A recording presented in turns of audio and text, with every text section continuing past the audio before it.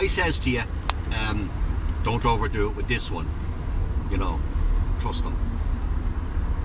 Uh, and that's where, even if you're not going to stay there. Now they have a they have um, pub grub and you know um, kitchen type thing as well. Yeah. Um, when they started off, they had a, a stout similar to Guinness,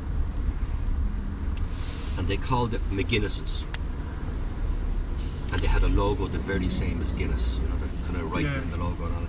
And they had a lager very similar to Budweiser, and they called it Woodbeiser, with the very same, you know, if you'd have to look closely. Yeah. And the same with Smithwick's, they called that Witsmith. So as soon as they opened, within fucking two days, there was a High Court injunction against them to stop them using the trade names.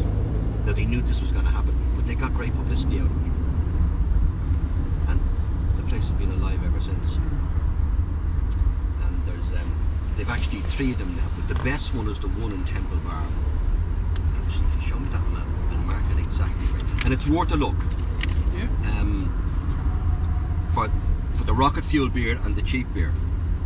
And you're right beside all the other all sports cafe, um, the Quays, Fitzsimons. You know, you're no more than hundred yards away from all the other ones.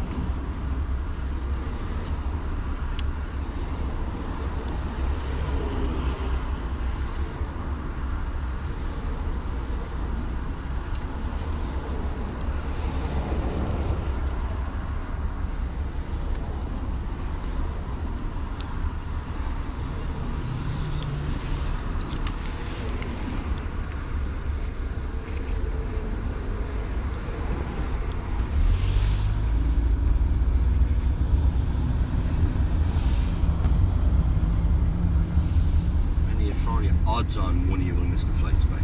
Nothing is sure.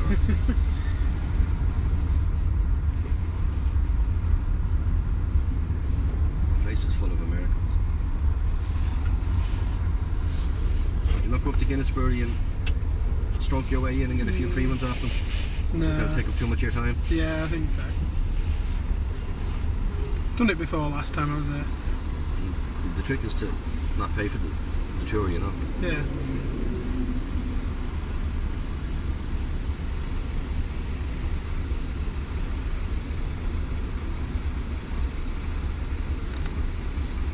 Porterhouse, and it's Parliament Street, and it's exactly there, right in the centre of Temple Bar. Oh, yeah. Um,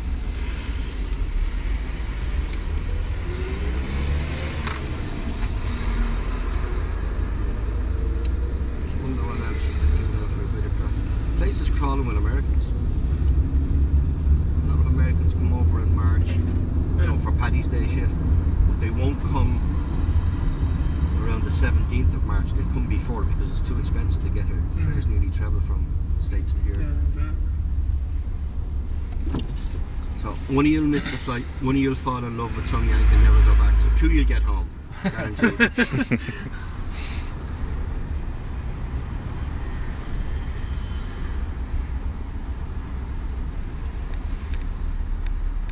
I want to. Me and Gaz have got to get back. His missus has told us, hasn't he?